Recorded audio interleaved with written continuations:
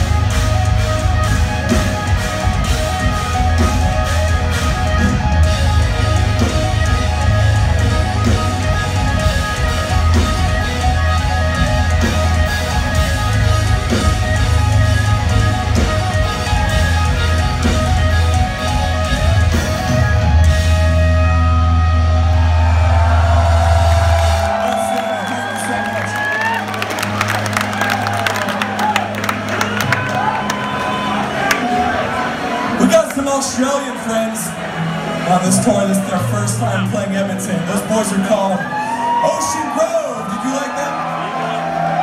You guys came late and missed them. Please check them out.